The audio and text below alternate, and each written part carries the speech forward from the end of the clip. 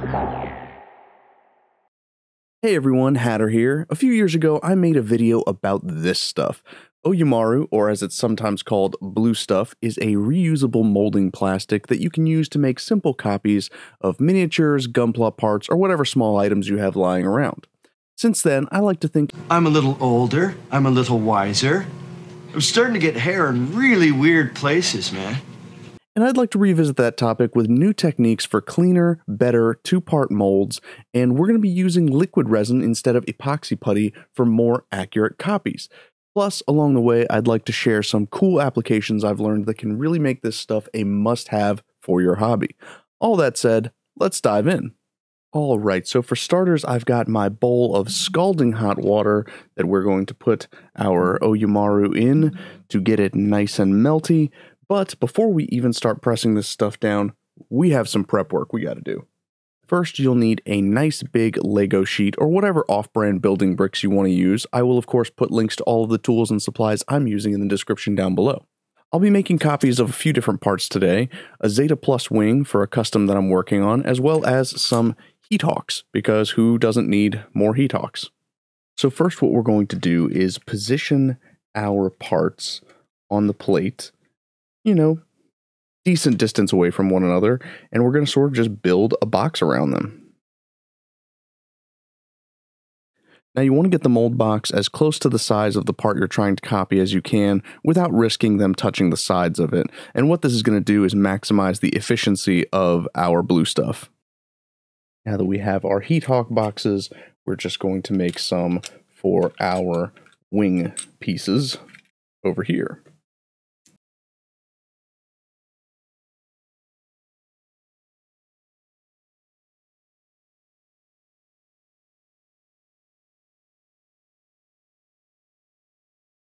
All right, I think that's good enough for government work. All right, hold your horses. We're not using the blue stuff yet. First, we are going to use some plasticine clay, which is just a modeling clay that does not harden over time and it doesn't you can't bake it or anything to get it to cure. So it makes it perfect for, you know, reusable applications like this. And what we're going to do is we're going to line the bottom of our mold boxes with this clay in order to hold our parts in place when we start pressing our Oyumaru down onto it. So go ahead and take your parts out and fill these boxes with your clay.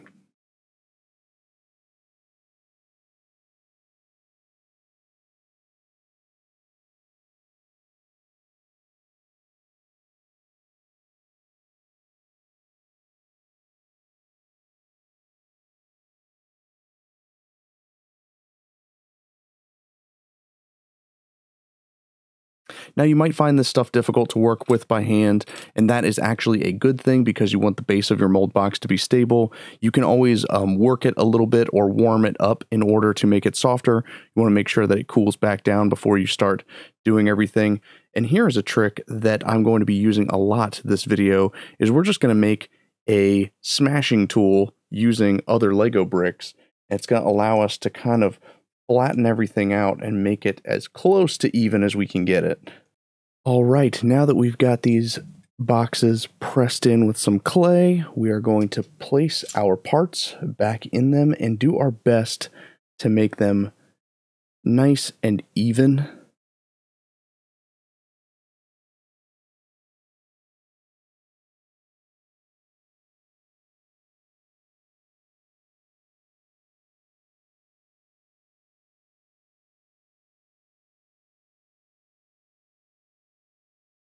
You don't want any gaps near the edges of your parts that are going to, you know, not get filled up by the Oyumaru. So the better you can pack this into the clay, the better off you'll be.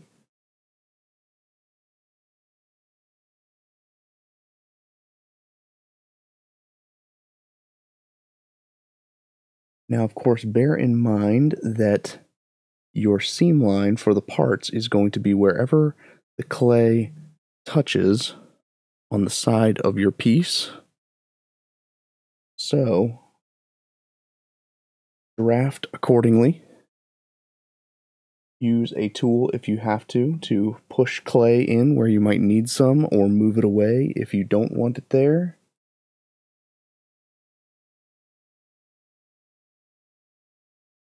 And then, of course, the other thing that we are going to want to do is put some sort of holes uh, to serve as guides for when you are putting your two part molds together.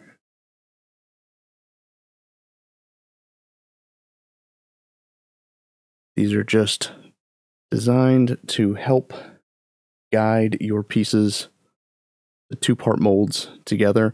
So you put a hole on this side that is going to fill up with Oyumaru. And then when we press down the other side, we will hopefully create a channel on that side that matches the look of this one. Now, your next step is going to be to build up a higher wall of your mold boxes. This is going to give you room to pack in your Oyumaru.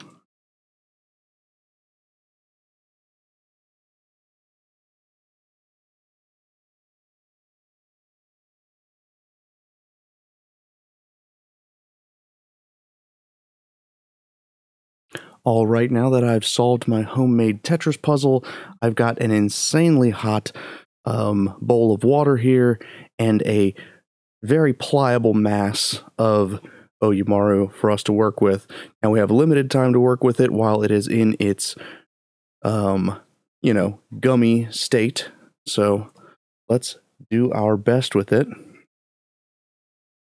We want to try and make sure we smooth out any creases before we put it as smooth side down as we possibly can and just press it into that mold box.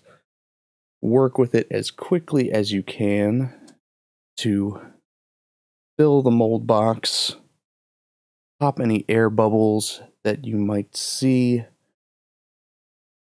Get in here with your flat smashy tool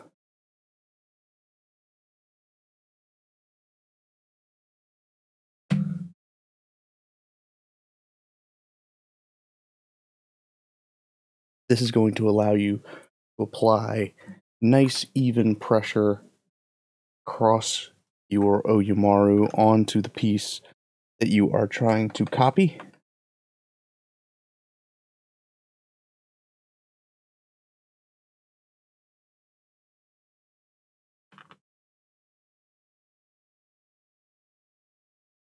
All right, so there we have it. We have used our boiling hot water to pack Oyumaru into our mold boxes. We've used our Lego smasher in order to create a nice flat even surface on the backside and it also allows us to apply a great deal of pressure to make sure that we get the most accurate mold possible using this stuff. You don't have to treat the parts uh, or the mold box with any kind of um, mold release or anything like that. Oyumaru does not stick to anything but itself, which is really awesome. Um, so really, all we got to do now is wait for these base parts of the mold to set. Um, you can try putting these like in the freezer or something. I've found that putting them in, you know, the refrigerator or the freezer will cause them to shrink a little bit and give you a less accurate mold. It's better to just be patient and let the mold cool down naturally. And then we will pop these guys out, flip them over, and press down the other half of our two part molds. All right, these guys have been sitting around for an hour, so we're going to go ahead and break our mold box and hopefully get the first half of our two part mold.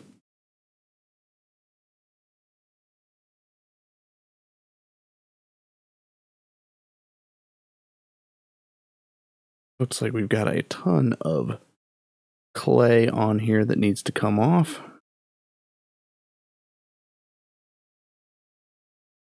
All right, so far so good. We just need to do a very good job of removing all of this excess clay so that we have nice clean molds, or as clean as we can get them anyway.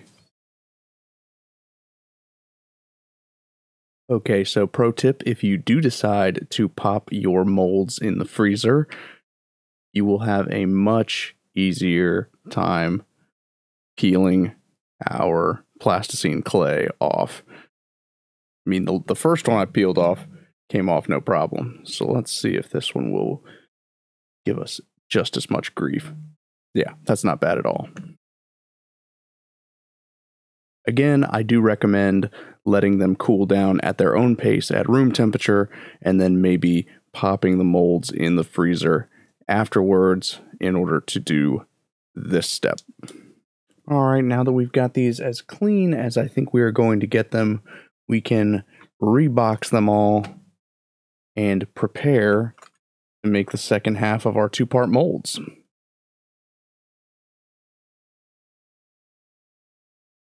All right, we've got our boiling water, we've got our mass of melty plastic here. Let's make us some molds.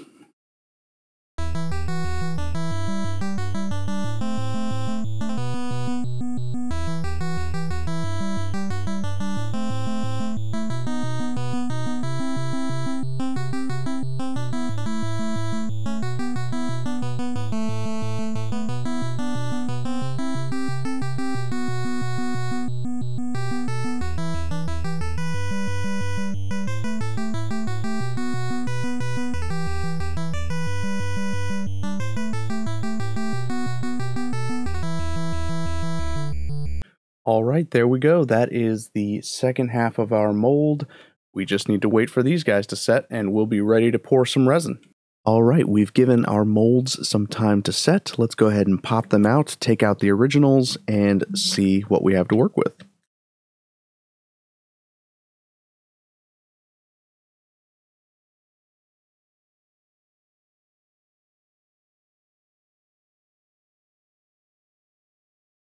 All right, now that we have our two part molds ready to go, it's time for the fun part. We can actually make some copies of our gunpla. For this step, I like to put down a piece of scrap cardboard um, just in case we make a mess. It's nice to just kind of let that stuff run onto something that I am not personally attached to. I'm going to be using a two part clear epoxy resin. This is a slow curing resin, so it's going to give us a lot of time to work with. And I've found that it actually takes a little longer to cure when we put in the additives that I'm going to be working with, but we'll get to that in a second. But there's a link to this in the description below. First things first, we are going to get out our measuring cups so that we can measure out our one to one mixture. I also have some disposable pipettes that we can use to stir and hopefully, you know, apply our resin. And now it is time to start pouring. Now, I am infamous for making way more of this than I need to. So I'm going to try and limit myself to uh, 10 mils each of our hardener and our epoxy.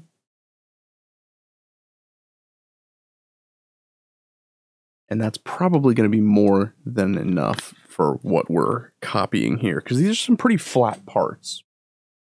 Now, there are, of course, methods you could use to make sure that you measure out the exact amount. You could take, if you had a clean one of these, you know, you could fill it with water, figure out how many milliliters are in there, and then use some displacement. You could throw your parts in there and see how much water gets displaced.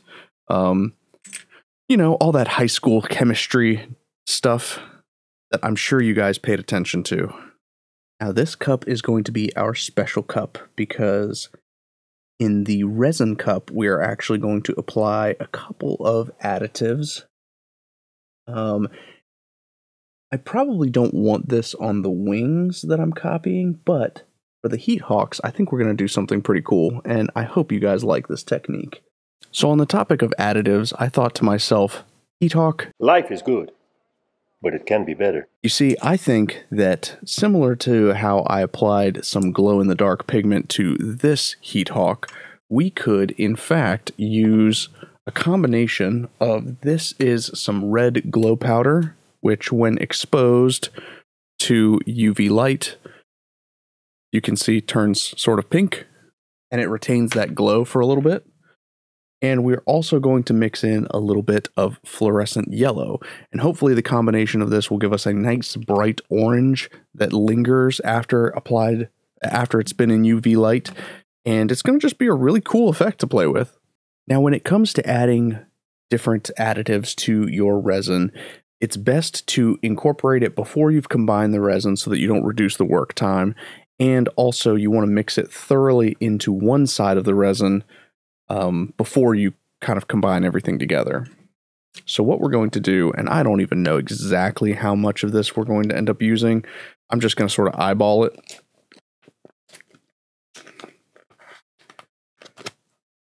And like I said, since I'm painting the the wing parts, I'm not too concerned with them being a little glowy because I'm going to paint over that. And I'm going to paint over most of the Heat Hawk anyway. This is really just for the Heat Hawk blade.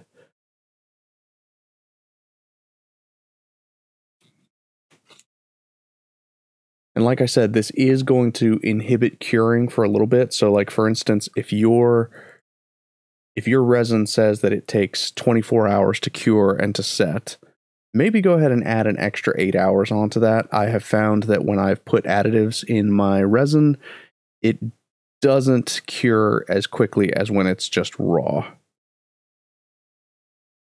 And there we go. We've got a nice well blended resin. All right, now that we've got our pigment in place, it's time to mix up this resin and pour it up.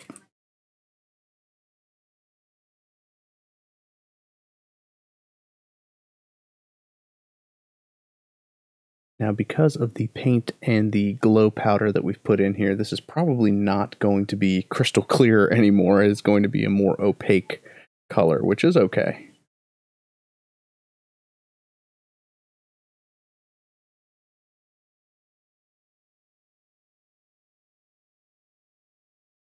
And again, this particular resin has about a 24 hour cure time. It's probably got about an hour and a half work time. So we have plenty of time to get this into our molds and work with it. I'm probably going to let it set for a couple of days though on account of the additives. Like I said, they can inhibit the curing process. Now, normally on a two part mold, you would have like a channel where you pour into but on account of these being particularly flat pieces, I thought it might be a better idea to almost paint into the mold and then seal it back together. And don't worry about, you know, if if you're filling the mold completely because the resin is going to expand while it cures. So, we're actually going to take steps to make sure that we compress our mold. And we'll get to that in a minute.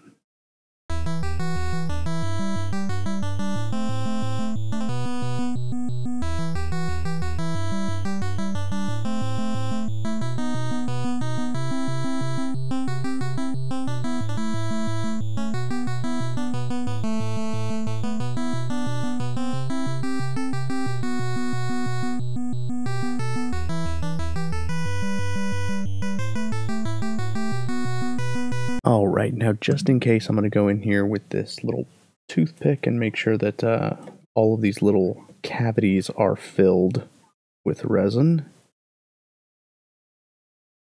But so far, it looks pretty good.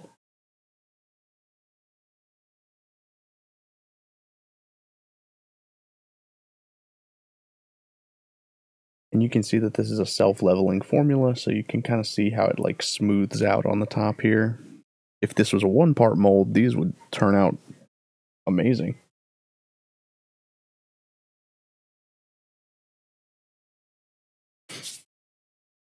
Now, for the fun part, we're going to make ourselves some mold sandwiches. I'm going to be using these clamps to make sure that the parts stay together and are held snug in place so that we get the most accurate mold possible, hopefully reduce some flashing, which is like the trim on the outside.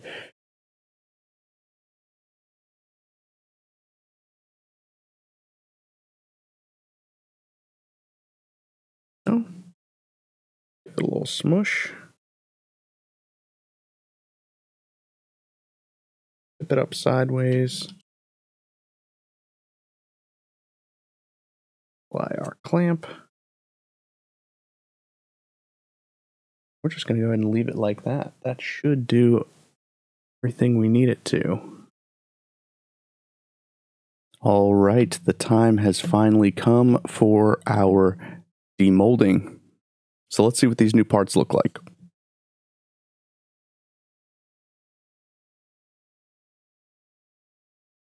We ended up getting a little bit of flashing, but it's nothing we can't uh, trim off. I think that this looks pretty dang good for a wing. I just want to show off some of the detail that we've got on these parts. They look really quite good.